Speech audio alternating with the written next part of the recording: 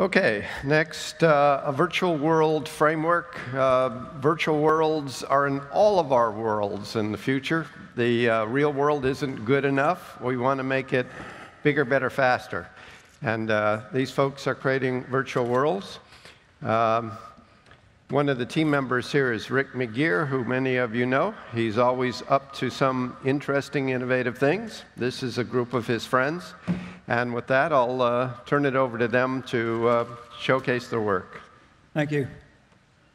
So my name is David Smith. Uh, I'm Chief uh, Innovation Officer and Senior Fellow at Lockheed Martin MST. Uh, it's Mark Torpy, who's the uh, Principal Investigator on the Virtual World Framework Project. I'm done. while he's setting up, I'm going to give you a little bit of background about what the framework is. Um, this started out as a vision of uh, Frank DiGiovanni. Frank is the Director of Strategy for Training and Readiness at, off, uh, the Office of Secretary of Defense. Uh, basically, the need was a cross services solution that was very easy to develop, easy to deploy, and in particular, being able to uh, work with the in information technologies side of the world uh, was a crucial thing. In other words, we couldn't do the same old thing with a virtual world where we install it onto your PC. That just wasn't going to work. It didn't scale. Uh, so what we uh, realized was that uh, the technologies behind the web are evolving so quickly and they're so powerful that was a huge opportunity to basically embrace the direction that it was going and build on top of that. So the virtual world framework uh, took its uh, inspiration, in a sense, from HTML5 which included a number of key technologies that are new. Uh, first is WebGL, which you're all familiar with. It's uh, basically a, a, variant of OpenGL that allows us to get real-time 3D in, in, the web itself. Uh, second is WebSockets, which allows us to enable a real-time communication point-to-point -point, uh, or multiple points-to-points. Uh, and then finally, WebRTC. And hopefully we're going to show some of that. So can you just start playing that, that video? This is actually a video we did of a bunch of different applications, so we're going to kind of skip through this uh, pretty quickly. Uh, why don't you just move forward a little bit? Uh, this first app, uh, skip this. This is uh, Sandtable. This is the first application we actually built. That's two different browsers running. Two different users could be thousands of miles apart, and they're able to interact. Anything one guy does, that image, that, that effort is perfectly replicated remotely. So these are two basically identical uh, virtual boxes, so to speak. Here's another application. By the way, everything you're seeing here was delivered via web browser. Uh, there's no plugins, no nothing. Basically, we just were able to, you go to that website, you can see the website top, top left corner. If you went there right now, you'd be able to get access to this. Um, this is, uh, we are able to pull in other kinds of content into this space and share that. So not only do we uh, have that replicated space, but we can basically put any kind of uh, third-party content. In this case, it's, uh, I believe it's uh, IBM's uh, map tech uh, uh, content. So go to the next one.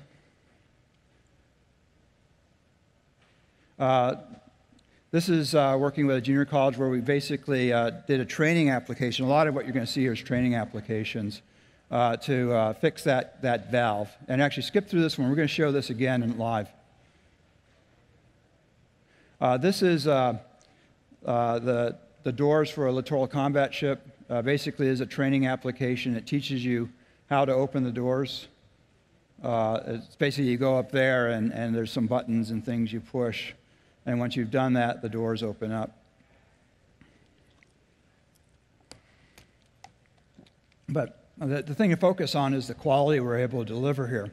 Uh, WebGL is real. I mean, it's OpenGL um, I wouldn't even call it clone, it's basically OpenGL. And so the quality of the experiences you can deliver are extraordinary. Uh, just basically, we're getting close to the point where we can deliver uh, even fairly high quality gaming uh, uh content. Skip this one. This is uh, uh, very similar to the last one.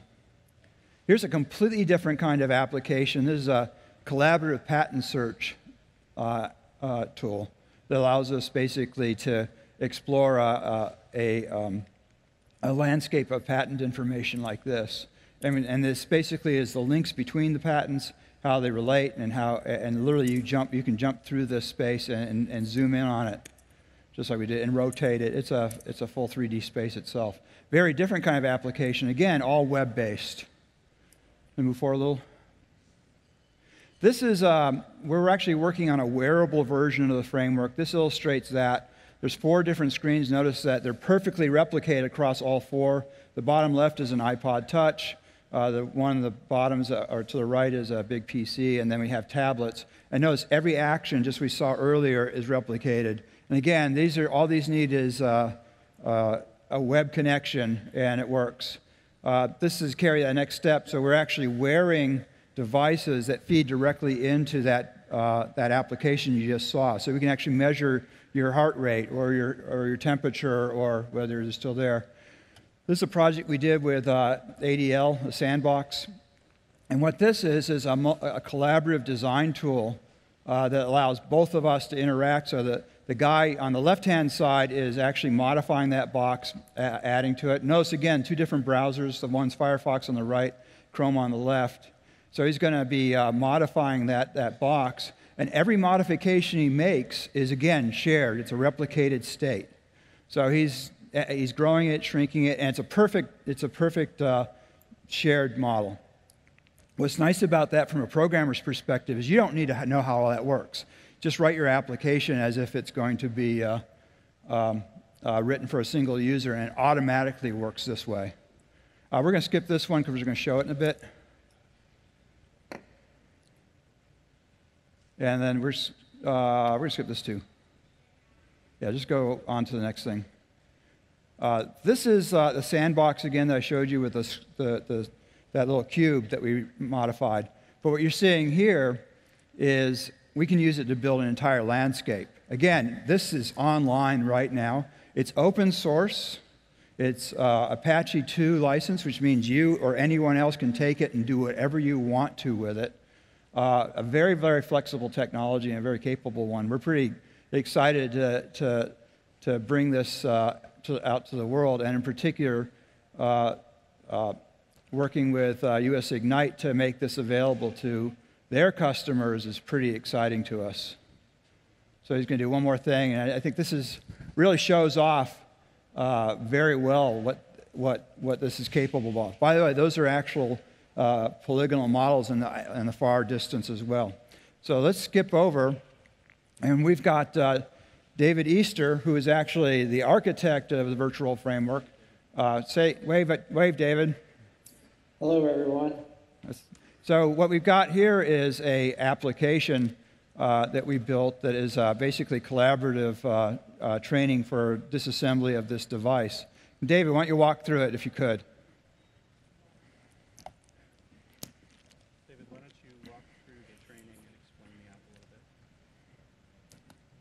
This is a uh, simple simulation of a um, oil valve um, by the company Chemray that uh, has an articulated model that shows how the actual device works and a simple training tool that walks through a maintenance procedure. Um, I can click through these steps one by one and the uh, engineer is able to understand how the device is put together and what the process is to um, disassemble it. So both of them can interact it simultaneously. So Mark, why don't you just spin it around to get a better view? So David, I'm going to spin the, the valve. So Mark is interacting with it, and so both of them are able to work together uh, on a simple application. But remember, what's nice about this is you just write it once, and it's multi-user immediately. Uh, by the way, that this is actually two apps running uh, in, in, in, one inside the other. The outside application, where we see the videos, that's the WebRTC, and that's actually the, our, our cross-platform collaboration system that we developed. It's also a Virtual World Framework app. So we, we not only have this uh, uh, outside app, then we have this other inside app that uh, doesn't have the video built in but can take advantage of the outside. David, can you share something else instead of the, the valve? I will share my desktop.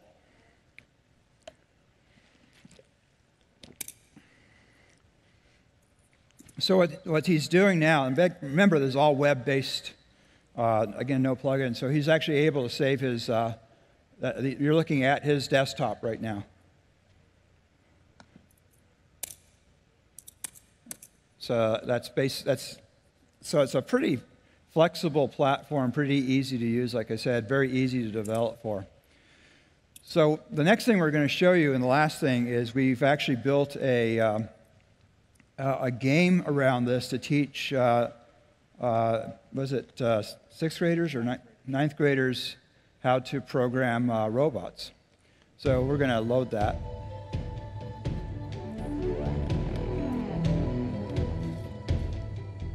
So this is uh, some placeholder content.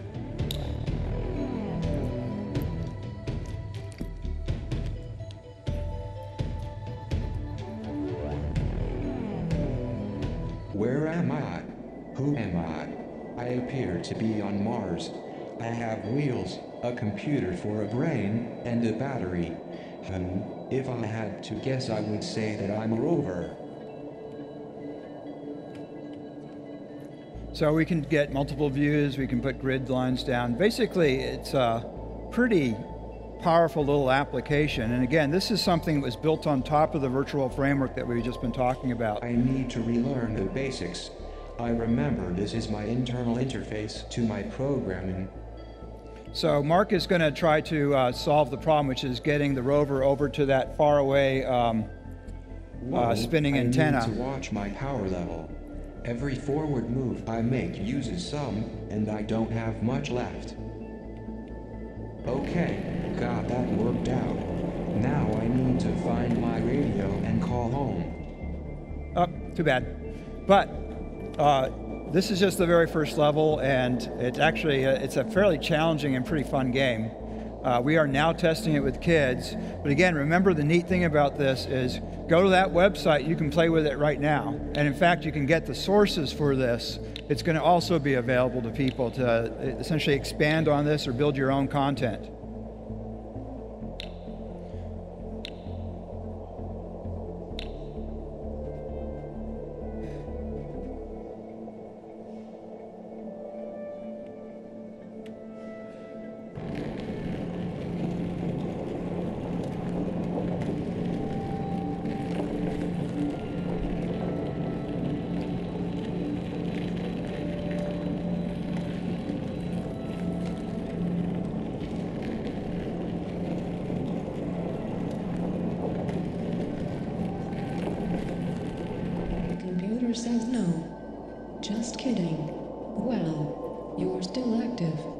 So- PA-10K, your AI mission controller. Here are the leads. You are a super advanced self-learning rover that we sent to Mars to prepare a base for our pets I mean human explorers, who are hurtling toward you at a gauge engine meters per second per second. Anywho, something went wrong during your atmosphere entry procedure, and your vehicle and all your mission equipment have been scattered over a significant fraction of the planet's surface. So that's problem number one. Problem number two, we have lost contact with the humans. The good news is you can restore contact with them from your end. The bad news is there is third problem. You are missing 99.9% of your brain. Okay, here is the deal. You need to find another rover that has wandered off somewhere. It goes on on. So we've got a couple minutes left for questions. I see the lost Um, actually, he's going to show one more thing, which is a graphing calculator. Yeah, turn that down.